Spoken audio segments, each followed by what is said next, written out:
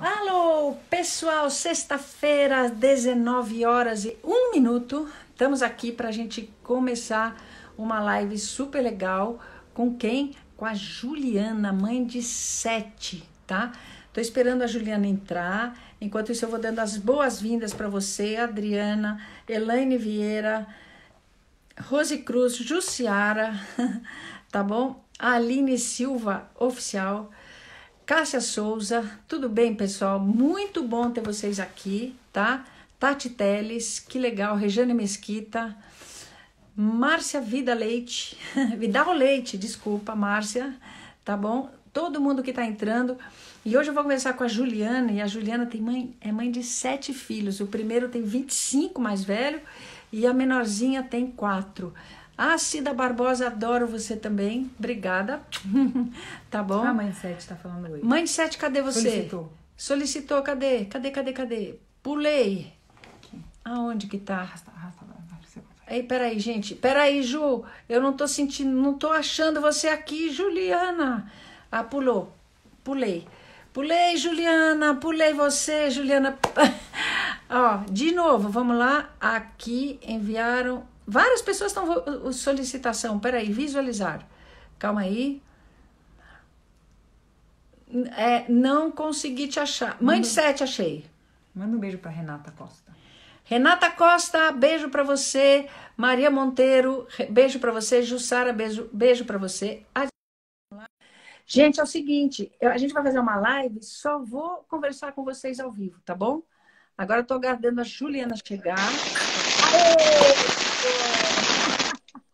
Tudo bom, Ju? Tudo, bem Tudo com bom? Que honra. Olha, eu tava com esses negocinhos no ouvido aqui, Tirei. só que isso não funciona pra gente Pra falar, mim né? também não. Não funciona pra falar. Pra mim também não funciona, não. Eu acho que dá chiado, eu coloco e desisto logo no Isso. começo. É isso aí. Gente, Tudo- que prazer que ter honra. você aqui, Ju. A honra é minha. Obrigada por ter aceitado o convite, tá bom? Eu tinha que conversar com você. Gente, a Juliana tem mãe, é mãe de sete, como eu falei para vocês, de 25 a A 4, quatro. Isso. né? Não é? Seu mais velho tá com 25, né, Ju? 25. Todos em casa. E a Ju tem um currículo fantástico, né? Porque ela é especialista em parentalidade, em educação, você é engenheira civil. Sou, sou. Nossa! E está fazendo toda essa comunicação importantíssimo, né? No seu, em tudo que você faz de comunicação de saúde, mãe de sete, Isso, não é? isso. Isso Tenho é buscado. Tenho buscado falar muito com as mães nesse período de quarentena, né? Porque todo mundo em casa. Então eu tenho buscado diariamente fazer lives mesmo para trazer informação para dizer, gente, calma, tem jeito. É isso. Tem, tem jeito. Por isso É que eu queria isso. conversar com você, Ju. E a primeira pergunta que eu te faço é essa: os sete estão com você aí em casa? Como é que está a situação? Estão, estão, moram todos comigo, né? 20 eu tenho um de 25, um de 16, um de 13. Aí eu tenho trigêmeas de 11 anos. Olha, Então, os meus três primeiros são, são homens. Aí eu quis uma menina, fiz um tratamento, vieram três. Legal. Separei, casei de novo. Aí tive a pequena, que tá com quatro. Todos comigo ao mesmo tempo. É, você tem um compêndio de pediatria e adolescência na sua casa. é isso. Você sabe que minha pediatra, pediatra caçula, ela, ela sabe pela internet que meus filhos são doentes, né? Ela fala assim, como assim? Falei, ah, doutora Fabi, você sabe quantas viroses eu já tratei na minha vida? Eu já sei que são cinco dias, vai dar febre e tal. Quando o negócio aperta, a parte respiratória que eu ligo pra ela. Porque a gente acaba, fica craque, né? Quando É gente, isso aí, né? a gente já, já entende. Como é, como é que você está organizando a rotina da sua família agora, né? Com sete na sua casa, tendo que cuidar de lição, né? Ajudar os adolescentes e os menores na escola. Como é que você está fazendo isso? Assim, é até bom, legal para todo mundo saber. Então, eu, assim, no começo, eu acho que houve uma, uma, uma- um equívoco muito grande da gente, logo quando começou essa pandemia, da gente ficar em casa, que a gente quis repetir a rotina, né? Hora de dormir, hora de acordar. Aí eu percebi que não existe, não tem condições de a gente querer manter a rotina de antes, até porque muito da nossa rotina era norteada pelas atividades externas, né? Então acorda, vai para a escola, aí volta da escola, aí vai para o inglês, aí volta para o inglês. Como não existe mais isso, a gente não podia querer ter a mesma rotina. Então, depois de muitos dias, porque no começo eu acho que a gente não sabia muito até onde se ia dar, né? Quanto tempo, quanto é. tempo a gente ia ficar em casa, a gente ficou sem saber, não, volta daqui um mês, não volta. Exato. E aí o negócio foi complicando, as aulas começaram, as escolas começaram a colocar as aulas online. Aí eu, como eu tenho uma vantagem que eles, tirando de quatro anos, eles já são maiorzinhos. Então, é. nessa hora, eu prefiro não impor, eu prefiro chamar eles para sentar, para dizer como é que a gente vai organizar essa rotina aqui.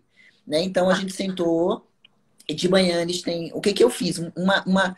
Eu acho que a rotina é necessária, doutora Ana, para a gente ter um, um, uma segurança do que vem antes, do que vem depois. Isso traz um pouco de tranquilidade, né?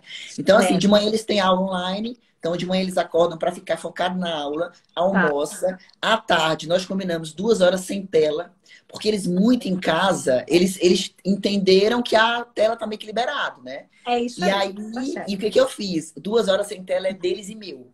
Então eu também abri mão da tela para ficar Legal. de duas às quatro com eles. Então aí a gente ou faz uma atividade da escola, ou, ou, tira dúvida, ou a gente vai jogar coisa de tabuleiro. Porque tem dia que a gente não, não, não tem cabeça para ficar com muita coisa da escola, né? É. Então vamos jogar, vamos lá. Eu, eu, moro em casa, então vamos lá para fora, vamos fazer alguma coisa nós juntos.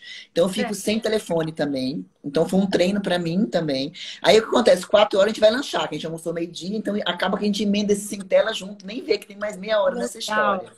E aí ah. depois eu libero. Aí eu libero, eles vão jogar, eu vou trabalhar, porque eu trabalho na internet e tal. E aí a gente, a gente determinou assim: jantamos juntos e tem uma hora limite para dormir. Pronto. É isso. Não, não tem muito muita, muita rigidez, nem muita, muita coisa, porque não dá nesse momento que está todo mundo muito tenso com muita coisa. Mas eu, eu criar uma coisa mínima e acordada com eles, eu acho que funciona melhor né? Gente, olha que dica fantástica que ajuda para todo mundo, né? Para organizar a rotina. Esse momento assim de duas horas sem tela, sem nada, todo mundo interagindo, fazendo, né? As lições, deveres, tirando dúvidas, jogando. Isso é muito importante, né? Você está sentindo que com isso está tendo assim uma certa, vocês estão ficando mais unidos do que com certeza. Antes? Com... dizer, tem, tem, um lado bom dessa pandemia na união familiar, assim? Tem, tem, porque quando eu, me, eu, eu percebi assim, que quando eu falei eu estou sem tela também, eles entenderam que agora eu tenho ela. Então a gente conseguiu. O que, é que eu percebi? Eu tenho três meninos mais velhos e três meninas de 11 anos. Existia tá. uma disputa, menino com menina, que menina é chata, que não sei o que. Tá. Eles ficaram muito mais unidos agora, porque agora eles estão juntos para criar coisas. E a gente também está é. muito mais próximo, né? Porque eu, eu comecei a ler também. Porque, por exemplo, tem crianças que neste momento, porque eu tenho sete, eu digo que eu tenho tudo que é jeito, né? Então, tem Sim. umas que conseguiram lidar melhor com esse momento de pandemia. Tem outras é. que estão sofrendo muito. Então, Sim. nessa hora, você acolhe esses, né? Então, eu percebi que há uma. uma... Eu acho assim, doutora Ana, eu tenho falado muito com as mães que, que me procuram. Eu falo assim: olha, neste momento não é hora de conteúdo novo. Neste momento é hora de prepará-los para o que vem. Boa, então, o que, que a gente pode fazer de atividade nesse momento? Por exemplo, estamos indo para a cozinha, que a gente não ia muito, porque cozinha tem processo, né? Eu tenho que pesar. Ali tem matemática, ali tem português, né? Então, eu acho que é isso que a gente tem feito. A gente inventou de pintar os cabelos, aí erra e não dá certo, aí faz de novo no outro dia coisas que a gente está experimentando, acho que assim, tá, a gente está se permitindo tentar e errar mais. Sim, eu acho que isso é legal. fantástico para a vida. Eu tenho experimentado coisas nessa quarentena que eu não me. Eu, Juliana, que sempre Sim. fui muito certinha, assim, eu é. nunca me permiti fazer. De dançar Sim. na frente das câmeras com eles, de fazer coisas do mundo que deles, legal. sabe? Isso, isso tem unido a gente. Eu acho que Nossa. esse é o momento para isso, né? É isso, gente. Tá vendo como é possível a gente tirar, né, dessa quarentena, fazer uma limonada. E às vezes é isso, quando a gente organiza a rotina, que eu acho que isso é a base estrutural de tudo, né, Ju? É, Aí depois é. as relações começam a ficar mais claras e, a, e, mais fortalecidas. Então a gente, em vez de ficar aquela brigalhada, uma rotina organizada faz com que as relações da gente fiquem mais fortalecidas, que é isso que a Ju está conseguindo fazer. Isso é muito legal, muito legal. É. E como é que você administra, por exemplo, a energia das crianças? Atividade física, eles estão fazendo? Como é que está isso? Então, é isso que eu tenho. Eu tenho crianças que tendem eu moro em casa, então eu tenho essa vantagem de estar numa área maior. Então tem uns que naturalmente eles vão lá para fora e eles pulam, tem um que gosta de parkour, a gente montou um balanço de pneu ali, então eles estão, tem uns que naturalmente vão, tem outros que eu preciso dizer, sai. Deixa, olha, vai lá para fora, porque eles Isso. trocam o celular por um livro ou para poder fazer desenho, eles estão mais quietos, né? Então é do perfil. Certo. Então a gente precisa estar tá incentivando essa coisa. Então a gente vai fazer uma brincadeira lá fora, comprei peteca. Então é uma questão, porque também tem, é muito do perfil da criança, né? Tem criança é que não é desse perfil. perfil. É né? E, e, é. e, é. isso, assim, a gente precisa olhar agora para essas atividades que são importantes, né? Eu vi alguém perguntando aí como é que você faz é, para atividades da casa e tal. Então, eu tive uma sorte muito é, grande. É, a rotina porque... da casa, era isso que eu ia te perguntar. eu tive uma sorte muito grande, porque eu tenho uma pessoa que trabalha comigo que ficou confinada comigo, porque ela mora aqui. Ah.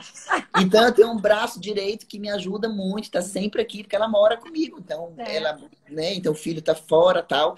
Mas, assim, o que eu tenho buscado é, eles acordam, eles têm que fazer a cama deles, eles tiram o lixo do banheiro, eles né, levam a roupa suja para de serviço. Final de semana, eles estão junto comigo, eles lavam a louça junto comigo. Mas a Juliana, é meio, como é que eu posso falar? Sabe assim, deixa que eu lavo a louça, que é muito menino para querer lavar a louça. Faz tudo. Tipo, faz mãe de sete. Imagina não. que não vai querer resolver tudo. Não, é, tem horas que assim, cada um quer levar um prato cada hora. Eu falei, não, sai, vamos fazer outra coisa, deixa que eu que eu lavo. Então, assim, é uma questão até minha isso. Mas eu acho que eles têm entendido mais sobre essa coisa das atividades de casa tal, que é uma coisa que a gente que tem que, que, trazer. E tem que estar sempre lembrando, né, doutora Ana? Porque a gente acha que esses meninos, assim, entendeu a rotina, tudo bem, então eles vão cumprir religiosamente. Não vão. Não vão, tem que ficar em cima, né, José? Tem que ficar, ainda mais adolescente, dizer, ó, oh, hora da tela, é. vambora tal. É esse, essa coisa que a gente idealiza de que eles vão, é mas eu combinei e não fizeram. Gente, não é dá. Isso.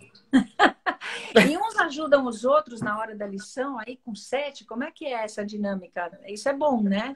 É, as, os meninos não, cada um fica no seu canto. O meu mais velho tá, trabalhando em home office, de 25, né? Que ele estava tá. estagiando, tá trabalhando e tal. Tá tra... Ele está em casa, tá trabalhando? Tá em home office. É, ele tá. trabalha no ministério e tá. tá em home office. Tá. Os outros, o de 16, de 13, é cada um no seu canto. Agora as trigêmeas, elas estão na mesma, mesma não estão na mesma sala, mas estão no mesmo, mesmo, mesmo ano, né?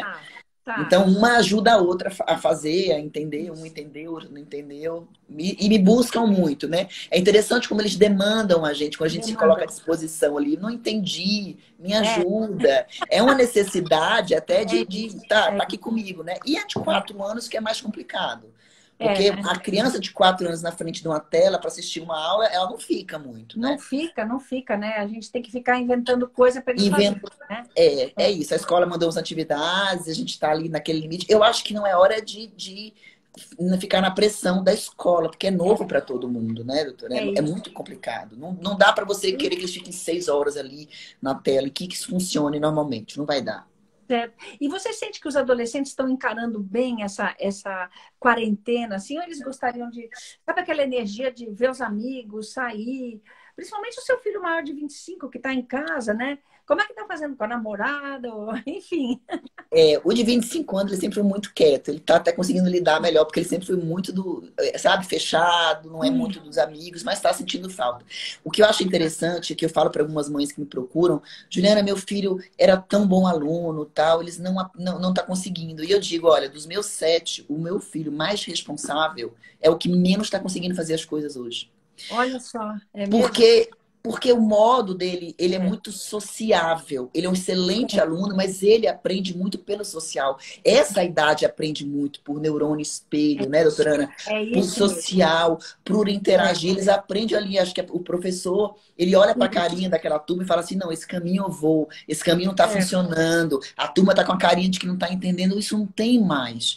É então, não, não dá para ser do mesmo jeito. Então, assim, eu tenho um filho que está tranquilo no, no online lá, mas o que ah. era melhor aluno, mais responsável, ele fala: mãe, eu não consigo. Entendi. Então eu preciso olhar para essa criança e dizer assim, eu entendo e eu posso te, como é que eu posso te ajudar? E não dizer como é. assim você não consegue, é. né? E eu falo isso, é o aluno mais responsável que eu tenho, o que mais fazia as coisas é o que menos está conseguindo acompanhar, porque é muito diferente para ele. É né? isso, entendi, entendi tudo. Nossa, vê como cada um tem a sua especificidade, né? Cada um tem a sua característica. Cada E um. você, como mãe de sete, estou entendendo que você consegue identificar em cada filho a característica de cada um e a gente tem que aprender a respeitar isso, né? Precisa, Vo- Você precisa. consegue ver isso claramente, assim, que isso, às vezes, os pais querem que os filhos sejam todos iguais, né?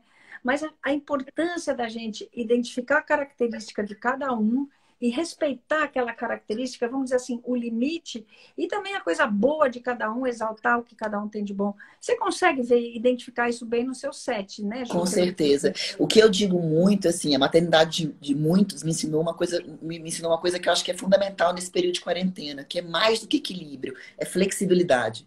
A gente precisa ter flexibilidade nessa hora e entender. Eu falo assim para as mães, ó, às vezes você tem um filho que tá muito tranquilo, porque como ele não é muito hiperativo, para ele ele é mais quietinho, então ele consegue ficar no apartamento e ele tá ali sem desafiar muito. Agora tem outro que tá desesperado porque precisa sair. E aí você vira para um filho seu e fala assim: Olha lá, seu irmão, como tá quietinho, olha lá como ele consegue me atender. Não é possível que você não consiga, né? E realmente ele é diferente, realmente ele não consegue. E eu digo que você cria um problema porque ele, além de não conseguir atender essa mãe, ele tem um irmão dentro de casa mostrando: Olha só o que eu consigo e você não consegue.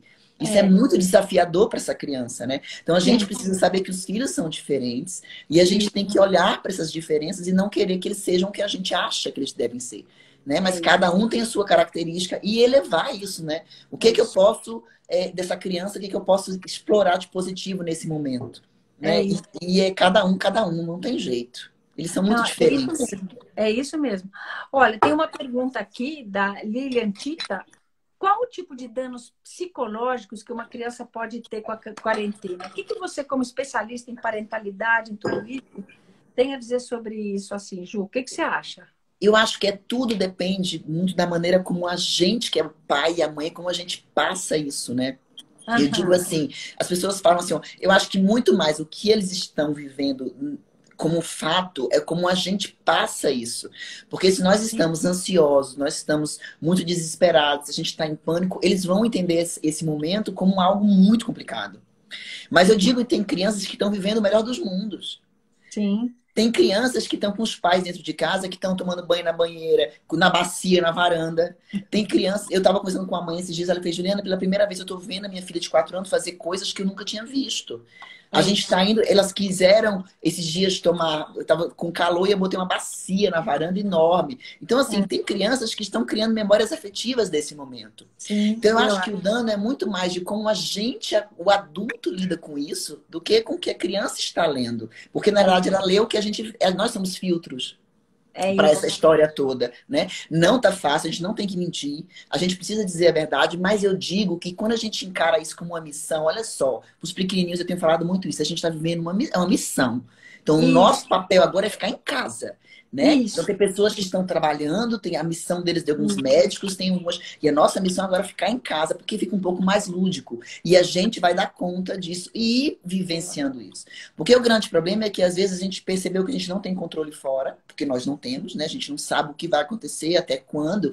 E às vezes tem gente que volta para um controle muito rígido para dentro de casa. Já que eu não tenho controle fora, vou enlouquecer aqui dentro de casa. E isso gera uma ansiedade muito grande. Né? É isso. Então a gente precisa tentar acalmar um pouco e, e ter fé. Eu sou muito da É fé, então eu acho que é ter fé e, e passar isso para as crianças, porque é muito mais de como a gente está interpretando e passando isso do que, que eles mesmos estão vivenciando.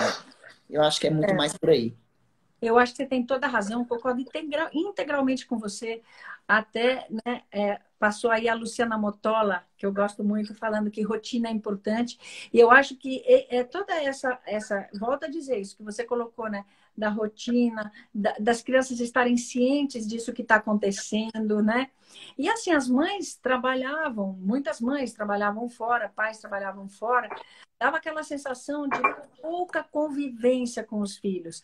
Então, agora, nesse momento em que essa convivência está muito intensa, eu, sinceramente, acho exatamente como você, quer dizer, que é um momento em que as crianças estão se beneficiando disso, porque as crianças estão aproveitando muito a companhia dos pais.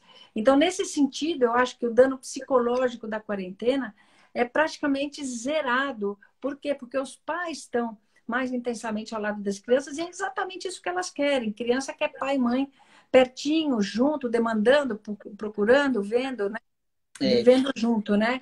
É. Então, isso aí eu acho que é, é, é, super importante, né? Eu vejo, eu vejo crianças ansiosas quando os pais são médicos, né? Então, ah, sim, sim. alguns pais que estão lá, que têm dificuldade. Então, essas crianças têm falado muito sobre essa coisa da missão, sabe? Eles estão na missão, a gente está na missão daqui e vamos trabalhando junto. Então, esse, essas que são mais complexas. O resto é ajuste de rotina mesmo, né? É. Da gente em casa.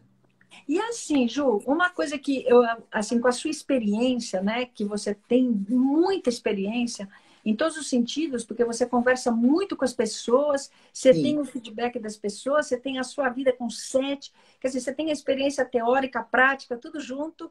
Assim, nessa quarentena, você está vendo mais as mães, vamos dizer assim, se ocuparem das tarefas domésticas e dos filhos, e menos um pouco os pais que seguem assim valorizando muito o tempo de home office deles, ou você vê que os pais estão mais interagindo e dividindo mais com as mães as tarefas? Como é que você está vendo isso? Tem de tudo, né? Eu digo que a quarentena, esse momento onde a gente ficou em casa, é, na verdade fez foi é, ampliar algo que já existia que não estava legal, que a gente fugia. Então, na quarentena, se tinha um problema de, de diálogo entre, entre marido e mulher, se tinha um problema de relacionamento entre mãe e filho, isso amplificou. Porque não tem como eu ir dar, dar uma voltinha para dar uma respirada é uma Sim. oportunidade de a gente rever esse, esse relacionamento, da gente reconstruir muita coisa. Eu acho que elas estão entendendo e buscando isso, né? Porque é. o, home, o home office, é, é óbvio que as mulheres estão mais nessa atividade, estão cansadas, estão. Eu recebo muitas mensagens do tipo assim, poxa, Juliana, eu tô trabalhando em casa, eu tô cuidando é. da casa, tô cozinhando, tô lavando, tô cuidando dos filhos, sou professora e meu marido tá no sofá. É, é isso aí. E eu falo para elas, olha, deixa eu te falar um negócio. Mas mesmo assim, você vai ter que resgatar esse homem, porque você não tem o que fazer. Ela fez na sopa para mim isso. Eu falei, mas é uma, é, uma, é uma maneira de você encorajar. Porque eu digo assim, ó, se você ficar ali reclamando, você não. Eu, eu falo muito assim, ó, não existe semente neutra. Ou você constrói com a sua fala ou você destrói. Ficar ali reclamando, chamando de menino, de não sei o que, não sei o que, não vai adiantar. Vamos tentar por outro lado para ver se a gente resgata um casamento. Resgata é esse homem, porque às vezes está perdido. Eu vou te dar um exemplo. O meu marido é fisioterapeuta. Então, quando ah. começou a quarentena, ele fechou o consultório dele. Ele ah. ficou muito mal. Eu, ele dava respostas atravessadas, respostas amargas. Até que eu chamei ele e falei assim: deixa eu te falar ah. uma coisa. Você não é só fisioterapeuta. Porque o homem confunde muito a identidade dele com o trabalho dele. Não, né? Tem toda a E eu falei para ele, você é, você é pai, você é marido, tal. E aí foi que ele, ele fez, Juliana, ele usou uma palavra muito interessante, ele fez, você me resgatou. Porque ele estava entrando numa sensação de eu não sirvo para nada, porque eles acham que eles só são isso. Então, esse é um trabalho que a gente dizia assim, olha, deixa eu lembrar, você não é só isso. isso eu preciso de você aqui, vamos aqui. Essa é, essa é uma coisa que a gente pode fazer, né? Sim. Mas eu acho que tem de tudo. Então, tem casamentos que estão ficando mais fortes, tem relacionamentos que estão sendo reconstruídos e tem coisa que não tá boa, que já não era boa e ficou pior, né? Então a gente tem que ter sabedoria nesse momento para não viver em conflito, na para não viver em confronto. Porque Exatamente. conflito Conflito a gente vai viver sempre. Relacionamento pressupõe conflito. Agora você não tem que parar de querer vencer tudo, ter razão em tudo. Essa é, é a dificuldade, né? Essa sabedoria que é difícil de ter. É isso. Sabe que alguém aqui passou também e falou assim, né? Como que a gente pode fazer para olhar sempre o copo meio cheio? Eu acho que é exatamente isso, é principalmente é isso. em relação às relações que a gente tem. Nesse momento na quarentena, que as, as relações da família elas podem se fortalecer ou podem enfraquecer né? Uhum. Então, é, tanto em relação dos pais com os filhos, quanto do, do casal mesmo, né? Porque se a gente a, aproveita, como você está colocando aqui, exemplificando para todo mundo esse momento, para fortalecer a relação com seus filhos, botando a rotina, tudo em ordem, isso é super importante. E a mesma coisa em relação ao companheiro ou companheira, a gente tem que fortalecer essa relação e se sentir que essa relação não está é, equivalente, equitativa, está pesando mais para um do que para outro. Isso tem que ser dito, tem que Sim. ser colocado ali na mesa para que as coisas possam se resolver. Ficar botando sujeira embaixo do tapete, gente, só aumenta a sujeira, né? Mas é uma então, dificuldade, né? Que a gente tem é de falar, de dizer, né? de pedir, porque a gente não consegue dizer, a gente acusa. A gente tem grande dificuldade de falar isso, assim, de é dizer, isso. olha, eu preciso. É porque a gente acha que é óbvio. É. É não é isso. é óbvio que eu tô cansada, não é óbvio que eu preciso de ajuda. É Gente, ó, não é. Para homem não, não é. Não é Para filho é. não é. Você tem que dizer pingo por é. pingo nos is para dizer, olha, preciso de você me ajude, estou cansada nisso, nisso, nisso. É impressionante, eles não sabem onde entrar. Eles, é. eles começam a fazer, a gente diz está errado. Então eles ficam ali, é, ficam, é na zona de conforto mesmo. Então, ó, não é óbvio. Vamos falar, gente. Vamos falar. E não é acusar, né? Eu acho que é. esse é o caminho. É isso aí, é falar. E sabe uma coisa que muitas. Isso é coisa bem que as mulheres fazem. Elas ficam se fingindo de vítimas, assim, né? Elas ficam chateadas, emborradas, não dizem porquê. Exatamente isso que você falou, Ju. Não externam o que estão sentindo, achando que quem está em volta vai falar, ai, coitadinha, vou ajudar ela tá mal. Não, ninguém tem que se fazer de vítima, ninguém não. tem que ficar emburrada. Isso é para vocês, mães. Falem, se vocês não estão felizes, externem essa infelicidade. É muito melhor botar tudo para fora, conversar. Eu acho que assim as pessoas que estão à sua volta têm mais capacidade de entender e eventualmente mudar os comportamentos para que todo mundo entre no equilíbrio, né, Ju? Exatamente. É eu acho que é isso. Super importante, né? É. e é uma coisa que a gente precisa aprender, né? Diálogo. Isso, isso. Ju, e aqui tem uma outra pergunta importante, né? Que eu estou vendo aqui, olha. É, se você tem qual que é a dica que você dá para os avós lidarem com a distância das crianças? Ah. Você que cuida tanto de, da família inteira, né? Tá sendo mais difícil aqui em casa, porque a minha pequenininha ela não ah. entende. E ela usa um termo tão bonito, porque ela fala assim, mamãe, era porque ela tinha um hábito muito de conviver com os, com os avós, de passar, às vezes, o final de semana, de não querer nem voltar para casa, de dormir. Tá. Era muito. É, é, a neta, é a primeira neta do meu marido, assim, ah. dos pais do meu marido, é Sim. é ela, né? A única menina, tá. tinha um mais velho. E ela fala assim: não é por que eu não posso ver meus avós? Eu não tenho coronavírus. E eu falei assim, filha, eu sei, mas é porque a gente está vivendo. Eu falo dessa história, dessa missão. Ela fala, eu quero demais conhecer os meus avós. Olha. E ela, ela, ela, é, esse termo conhecer que ela usa, eu acho que é uma coisa que a gente vai ter que vivenciar mesmo. A gente vai, vai ser um, um conhecer, né, Ana? Tudo de novo. Vai acho. ser. Eu acho que tudo vai ser tão novo que vai ser um conhecer. Então, é, a gente, o que a gente está fazendo? Via FaceTime, porque a gente está com isolamento físico do contato, mas a gente pode estar falando via vídeo, pode estar vendo foto, ela manda desenho, ela, ela, ela liga. Então eu acho que é, vai ter que ser por aí. Né? A gente precisa, o que a gente precisa fazer é acolher isso. Eu sei que é difícil, eu sei que você está com saudade, eu sei, mas a gente vai, vai ficar tudo bem, vai passar. Ela já fez o aniversário dela dia 6 de junho, ela achou que fosse estar já liberado, é. fez convite de todo mundo. Ela, mamãe, eu fiz o convite. Falei, mas depois que voltar a gente faz a festa. Mas assim, a gente vai ligar para todo mundo. É, eu acho que o importante é acolher dos dois lados que a saudade está forte, mas a gente está em isolamento físico, mas a gente pode se ver. A gente, eu, olha que coisa interessante. Eu tenho um, um sobrinho que mora em Salvador, mora em Brasília. E as certo. minhas filhas nunca conversaram tanto com esse sobrinho, com esse, meu, com esse primo delas, como hoje. Eles se viam de janeiro em janeiro. Agora é o dia inteiro via via FaceTime isso, conversando isso, sobre isso. vários assuntos. Então é. a gente pode criar maneiras diferentes enquanto as coisas não acontecem. O que a gente não pode é olhar para isso como uma tragédia.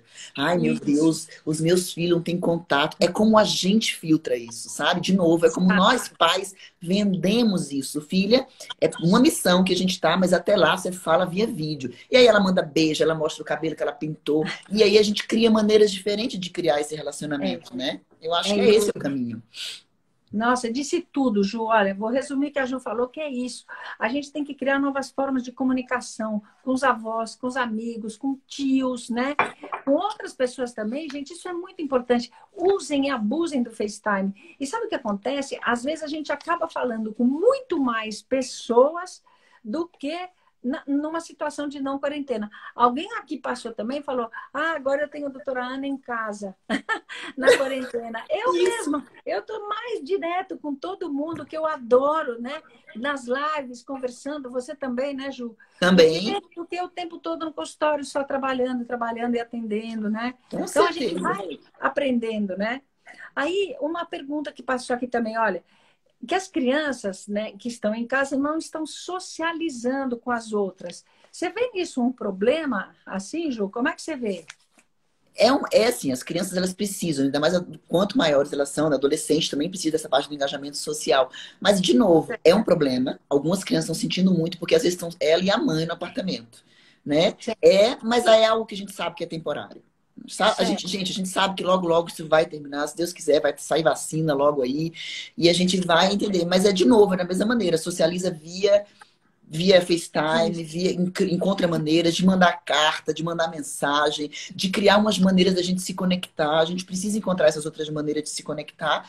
É um problema, né? Porque as crianças é. tinham essa coisa, ainda mais para aprender. Eu, eu, tive, eu fiz uma live com um professor, ele é incrível, porque ele, ele é especializado em altas habilidades. Tá. Mas ele falou muito sobre isso. O jovem aprende via, via eh, engajamento social, ele aprende olhando para o colega, via neurônio isso. espelho. Então, o aprendizado deles está mais isso. comprometido nessa hora. Então, é. a gente precisa ter calma nessa hora e não exigir a mesma coisa. Mas fazer via FaceTime, fazer o que a gente consegue é. fazer e saber que vai passar. A gente sabe Exato. que vai para o mundo novo, que eu acho que as Isso. coisas não vão ser como era antes, né? Eu, eu tenho, uma, tenho uma, uma, uma figura que eu penso muito assim, eu digo que a gente está no casulo, né? Entrou lagarta e a gente é. precisa sair borboleta.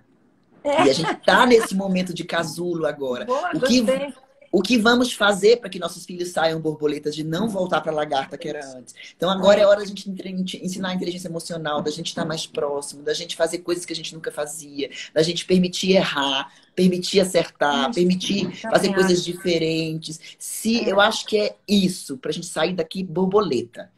A gente está no casulo. Adorei essa imagem do casulo que entrou lagarta. Vamos sair todo mundo voando borboleta. Borboleta, com dores, é? porque tem é dores, é tem gente morrendo, a gente sabe disso. Isso. Mas esses processos podem transformar o mundo, eu acho.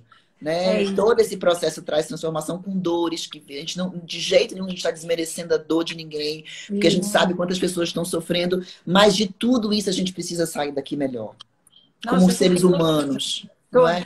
E passou alguém aqui dizendo que a filha dela brinca com a prima de boneca pelo FaceTime. Olha que legal. É, então, a gente encontra o jeito, né? Como, é, como isso vai tudo acontecendo, né?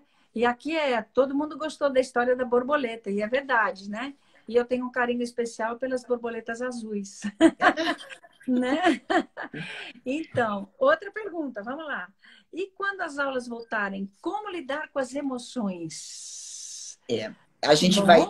É, isso é difícil, porque assim, a gente não sabe como é que vai voltar, né? Quando vai voltar. Porque é, a, a, expectativa é que voltem os mais velhos aos poucos, num espaço, numa distância. Né? Então a gente precisa tomar cuidado, porque é, os mais velhos conseguem entender o que está acontecendo, os menores não. Né? Então, assim, vai, você imagina você voltar para um lugar onde não pode ter recreio, vai assistir aula, cada um com a máscara vai ser difícil. Eu acho que a gente precisa entender como é que esse mundo vai voltar para a gente se adaptar, porque a gente não sabe, né? Como é que vai voltar, como é que vai ser. É difícil. Por isso que eu digo que a gente tem que, neste momento, preparar filhos mais fortes emocionalmente para o que vier. Porque a gente não sabe o que vem.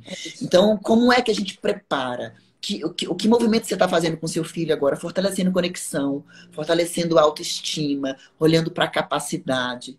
Porque percebe, doutora Ana, que a gente entendeu que, como, como mãe, o nosso papel é corrigir essas crianças o tempo inteiro. Né? Sim, a gente sim. entendeu que é senta direito, come direito, fala direito, estuda direito. A gente passou a vida corrigindo. E agora eu acho que a gente pode passar esse período olhando para todas as habilidades positivas que ele tem. Você é organizado, Boa. me ajuda nisso aqui. Olha só isso aqui que você fez, você tem capacidade de me ajudar. Vamos fazer um bolo. É elevar aquilo que é positivo para a gente construir uma autoestima que vai ser base para o que vier depois. Né? Boa, você tem toda a razão, Ju. Construir uma autoestima.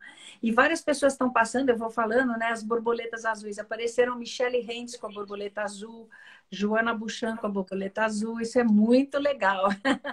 e esse novo, eu acho, esse novo. É, esse é nova normal que todo mundo fala, né? Que vai ser, é o que você falou, né? A gente vai ter que ter agora uma relação onde a gente fica mesmo mais de máscara, as crianças vão ficar de máscara, nas escolas vai ter um distanciamento social, muito provavelmente, as carteiras vão ficar mais longe, Bastante. o recreio vai ficar mais longe, né? E isso que você falou, Ju, é importantíssimo. Quer dizer, a gente tem que fortalecer a autoestima dos nossos filhos agora, para que depois, quando eles, borboletas, saírem dessa quarentena, eles sejam borboletas fortes, né? fortes. né? Poderosas, né? Por isso que é importante, eu acho, que as crianças entendam bem esse momento que a gente está vivendo, porque é um momento de crescimento muito grande para as crianças, né? É, as crianças estão aprendendo com isso, por isso essas crianças que estão fazendo de fato a quarentena corretamente, que estão em casa, que estão certinho, que estão passando todo esse processo, eu tenho certeza de que são crianças que vão sair mais fortalecidas, mais borboletas. Por quê? Porque eu estou vendo muitos pais, esses que estão indo viajar, que estão levando o filho para cá, filho para lá, estão indo para a praia, estão fazendo tudo isso desnecessariamente com as crianças. Isso não é um bom exemplo para ninguém, e muito menos para as crianças, que eu tenho certeza sairão dessas menos fortalecidas do que os que estão vivenciando todo esse processo difícil porque o mundo está passando, né, Ju? Você vê assim também isso? Vejo, vejo porque as crianças elas estão informadas elas têm informação na mão, então elas sabem o que está acontecendo, elas, elas têm noção de o que precisa é. ser feito, elas têm noção de que missão a gente está falando. Então, quando o pai não entende isso e não respeita isso, elas ficam confusas. Né? Então, é, é, elas também são um termômetro para a gente, né? Porque elas então... também estão. Inclusive, a gente precisa tomar cuidado. Alguém perguntou aí a respeito das telas. A gente precisa saber o que é que eles estão consumindo de informação, porque tem muita coisa errada, equivocada né? É então a é gente precisa fazer esse filtro também. O que está vendo? O que está enxergando? O que, que você está lendo? O que, que você está entendendo? Mas isso só com conexão para dizer ó, o que, que você está entendendo disso tudo. Deixa eu te explicar. Isso. Agora, os pais precisam respeitar o que é que é, que é para ser feito. E eles estão vendo que não está sendo feito, né? Então a gente precisa é tomar isso. cuidado disso, porque nós somos exemplo, né? É isso. Isso que você falou, Ju, nós somos o exemplo. Então, eu acho que, assim, eu sempre falo isso, esses pais que estão viajando, levando o filho para lá, para cá, que não estão respeitando a quarentena, nada, os filhos são realmente aquelas as pessoas que estão vendo que os pais estão fazendo as coisas erradas. Então, não. nesse sentido, as crianças estão julgando que seja inconscientemente, mas estão julgando o comportamento dos pais.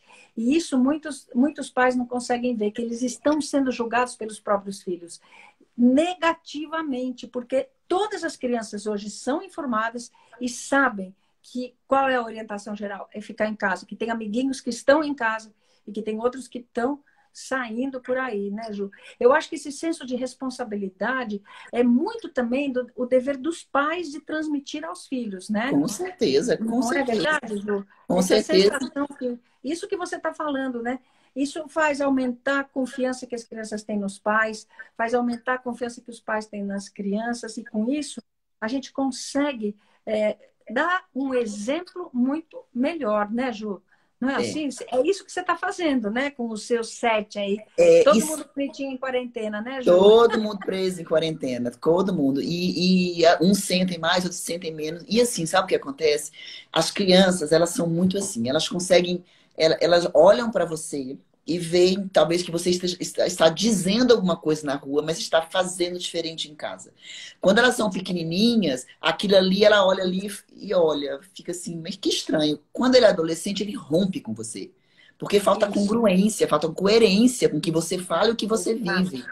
E aí há esse distanciamento por isso. Porque ele fala, tipo assim, quem é você para me dizer para ser responsável, para ser organizado, se você não é? E isso, essa, essa distância, né? essa coisa da gente dessa incoerência, essa comunicação dupla, isso já era um, um, um corte, né? Uma isso. distância entre pai e filho. Isso, Ju. E você que tem né, toda a escadinha, como eu falei, o compêndio de pediatria na sua casa, é isso. Você tem que equilibrar tudo que você fala para os adolescentes, que é o que você fala para a sua filhinha né, de, de quatro, quatro anos. anos. Né? É isso, isso. aí. É isso. Agora uma pergunta, Ju. Uma pergunta assim: você tem a escadinha, você tem filhos do primeiro casamento, não é isso? Sim, sim. sim. Como é que você está fazendo com o, o, pai das crianças do primeiro casamento? Eles estão indo, não estão? Porque essa é uma dúvida que muitos pais têm, né? Pais separados, por exemplo. Como é que estão fazendo? É, isso está complicado. O que acontece? Ele está isolado também. O pai dos meninos está isolado numa, numa casa, tá? Só ele e a esposa dele aqui mora em Goiânia, que é pertinho daqui, não mora em ah, Brasília. Tá. Então, por exemplo, ele, ele, ele ficou 40 dias sem ver os meninos, até que ele não deu conta mais. Ele fez, ó, oh, Juliana, eu tô isolado, eu tô. Aí pegou, ficou com os meninos, estão isolados também. Aí né? depois de quarentena. É, mas é. eles estão, ele tá, ele assim, ele tá em home office, então ele tá 40 dias numa casa só. É. Né? E aí certo. estamos é, fazendo assim. Agora precisa, o, o cuidado é de quem, quem tá, o pai está trabalhando, está isolado, se a mãe está trabalhando, para não ficar transmitindo, né? Mas não tem como você impedir, não é? É isso. Ele, é, é isso. Tem, tem, que tomar cuidado, tem que tomar todos os cuidados, todas as, as precauções possíveis. É isso. É isso mesmo. Olha, todo mundo está falando aqui. A Solange fez um comentário importante também. Pais inconsequentes, filhos rebeldes, né? É isso. E é isso. Pais incongruentes e que dão dupla mensagem, filhos rebeldes também. Pais que fazem aquilo que os filhos sabem que não deveria estar sendo feito, filhos rebeldes também depois. Depois a adolescência vem, né? Vem pagar, vem cobrar todo, claro. esse, todo esse comportamento, né? Exatamente. Não é mesmo? Eu é, sou suspeita porque eu amo adolescente. Eu tenho, tô com cinco em casa, mas eu gosto demais, porque assim, nesse momento a gente consegue ter uma troca maior, né? Eu consigo ouvi-los é. mais. Eles são, os meus filhos têm voz, então eles falam assim, mãe, não gostei do jeito que você falou. Mas será que precisa ser assim mesmo? Eles, eles, a gente constrói tudo junto. Porque eu entendi que eu não preciso ter esse controle todo sobre eles. Nós somos um grande time. Eu, eu sou o limite. Eu digo, ó, isso aqui não. Eu digo que eu sou margem. Mas há uma grande construção, porque eles têm voz, eles têm ideias incríveis, eles são super inteligentes. Por que, que tem que ser só eu para resolver as coisas? É por isso que a gente vive exausta, né? É isso. E você, você é, conversa com eles sobre todos os assuntos, assim, por exemplo, drogas, tudo, tudo. isso claramente, Ju? Tudo. Como é que você lida com isso? Tudo, masturbação, pornografia. Você imaginar que eu fico suando, mas eu, eu, eu, eu entendo que esse papel é meu. Porque esse é um tabu muito nosso, né? E é interessante Sim. que eu fui conversar com os meninos de 16 e de, o de 13 sobre isso, e aí eles ficam da cor, eles ficam vermelhos. Não, não quero saber, não. Vamos falar aqui o um negócio, eu falo. Porque assim, eu entendo que eu sou educadora, eu preciso falar, eu sou mãe deles. Então, por exemplo, as minhas meninas de 11 anos, eu converso sobre o que é sexo, o que é toque, o que é abuso desde cedo. Tá porque se elas não sabem o que é, como é que elas vão identificar quando isso acontece? Não é? Então eu, eu, eu falo sobre tudo, falo sobre tudo, elas sabem tudo, a gente conversa tudo. E é interessante porque elas, elas, elas, elas falam assim, mãe, elas conhecem, conheceram uma colega que passou por um abuso e elas vêm me trazer essa situação, porque há uma abertura de diálogo. Tem que é. conversar. Porque se a gente não ensina, quem vai ensinar é o colega de 13 anos. É isso mesmo. Ó, tem uma pergunta aqui sobre isso. Qual é a idade que você começa a conversar com seus filhos sobre isso? Sobre então, drogas, por exemplo, sexo, tudo isso? Depende muito, assim, as meninas lá para oito, eu comecei a conversar sobre isso porque elas começaram a perguntar, porque tem muito da demanda deles também, né? Então elas Sim. começaram a conversar, a perguntar, e aí eu fui conversando, entrei com o assunto, depende muito. Mas os meninos, por exemplo, com 12 anos, 13 anos, eu comecei a falar sobre masturbação. Na hora que eu comecei a perceber eu falei, ó, oh, é. senta aqui, vamos, vamos conversar, entende? é isso, é porque não é, não conversaram com a gente. Né? É então, é, a gente não sabe fazer isso, mas a gente tem que romper isso por eles. Porque o que, quando a gente pensa assim, ó, eu tenho uma coisa interessante, doutora Ana, que 18% do meu público, 18% do meu público tem até 24 anos. Sério? Olha. Eu tenho um público adolescente e jovem muito ah. grande. Então eles vêm muito a mim dizendo assim, Juliana, eu queria contar para minha mãe que eu já beijei na boca, mas eu não tenho coragem. Como é que eu falo? Então assim, eu digo que eles querem conversar com esses pais, mas eles não sabem o um caminho. Porque eles falam, se eu conversar, eu perco o celular, eu perco a liberdade, eu perco os amigos. Então, Olha. Então eles não. Então, se a gente não entender que nossa função não é essa, nossa função é de educar, não é de controlar, é de supervisionar e não de impedir, porque não adianta. Quando eu faço live com as mães, eu falo assim: levanta a mão aí, quem é que não tem alguma coisa que fez na vida que os pais até hoje não sabem? É isso mesmo. então não adianta querer ter ilusão que vai ter o controle sobre tudo, porque não vai. Não vai. E quando te perguntam fazer essa pergunta, eu quero contar para os meus pais que eu beijei na boca e não tenho coragem. O que, que você responde? Então, eu tenho que ter muita responsabilidade no que digo, né? Eu digo assim: é? olha, vai lá, encontra um momento muito bacana com sua mãe, não no momento de briga, e fala assim: mãe, tem uma coisa minha que é muito importante, porque o que é muito importante para mim que você saiba. É esse o caminho que eu dou. Vai lá. E muitas vão e conseguem conversar. Porque elas têm tanto medo, quando elas entram na, na, tipo assim, ó, é Sim. muito importante para mim que você saiba, ela já compra essa mãe, entendeu? Sim. E aí eu vou muito por aí, assim. Tem coisas que eu não posso realmente entrar, porque são de é. menores, então eu falo assim, olha, tem que conversar com sua mãe, eu entendo o tamanho da responsabilidade, mas é. eu tô ali sempre falando, sabe? Sempre falando nas lives, elas, eles me acompanham muito nas lives, é muito interessante, porque eles querem aprender como chegar nesses pais, sabe? Entendi, entendi. E assim, é, essa conversa que você tem com esses adolescentes, né, embasada em toda a sua experiência e no seu público também, que você tem um, você tem um monte. Quantos seguidores você tem? Quase 400 mil? 358 mil. É. Olha aí, que maravilhoso isso, né? Então, tem uma pergunta aqui que fizeram, olha, como e o que falar de masturbação para um menino de 17 anos? Olha é, que difícil. É, você sabe que o que eu falo muito, assim, isso é uma coisa muito minha. O que eu falo muito para os meus filhos não é não faça. O que eu falo muito para os meus filhos é cuidado quando você, cuidado com o que você está vendo com pornografia. Porque acontece, antigamente isso. a masturbação acontecia com fotos.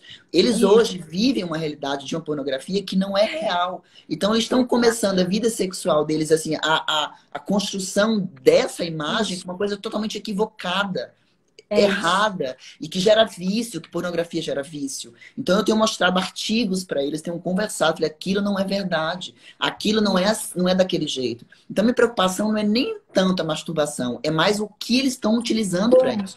E desde cedo, crianças de 10, de 11 anos acessando pornografia, não é? é então isso, isso é, é extremamente é perigoso porque nada dali é bom, nada dali edifica. Isso tudo é ruim, tudo é negativo, e eles criam uma distorção tão grande a respeito do sexo que tô, a gente está vendo casamentos se acabarem por causa de pornografia. Nossa, é verdade isso, você tem toda a razão, porque a internet hoje é um mundo. É um mundo. Que, né, as crianças, vai, de 11, 12, 13 anos já têm o seu celular, eles entram nesse mundo. Então aí vem a pergunta: você checa o celular dos seus filhos, você pede para ver, você orienta sobre essas fotos, que é uma pergunta que fizeram aqui, né? Os perigos das fotos na internet, Sim. de mandar nude, né? Essas Sim. fotos. Você conversa tudo isso também com eles, né? Eu converso, mas é aquilo que eu falei, a gente não tem como controlar 100%. Eu, eu converso não todos os dias, né? não tem. É, é, eu converso com eles todos os dias sobre isso, eu explico, eu mostro exemplos, eu falo sobre tudo isso. Mas o que acontece? Eu digo assim, ó, por mais que a gente pegue o telefone e ache que está controlando, é uma grande ilusão. Porque eles têm Isso. contas escondidas, eles apagam as coisas eles que eles fizeram. Então, eles o que, o que muito melhor que a gente.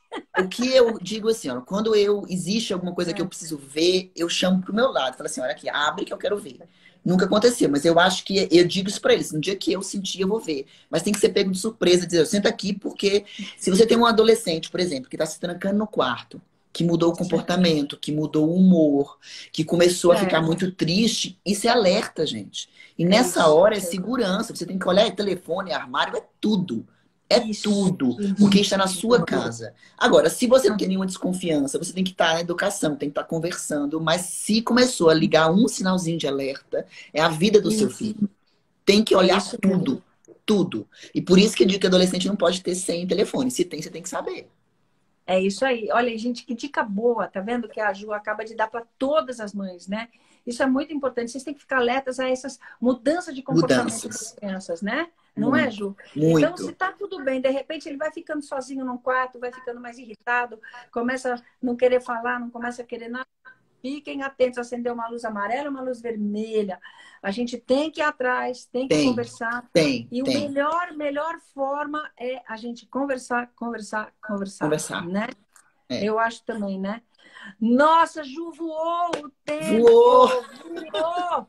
50 minutos já, praticamente. A gente vai ter que encerrar com dor no coração, porque conversar com você é uma delícia. Todo mundo aqui que está passando está adorando. Que bom, Michele passou várias vezes. Michele, minha querida, tá todo mundo aqui. Naná Buchan, todo mundo passou. Muitas pessoas aqui, todo mundo elogiando você, dizendo Obrigada. que você é maravilhosa. Adorando essa conversa, adorando essa live. Eu aprendi muito, Ju, com você, porque você tem uma experiência prática, como eu falei, você tem um compêndio de pediatria na sua casa. e você tem a experiência teórica de ter 358 mil seguidores, 18% dos quais têm até 24 anos, né?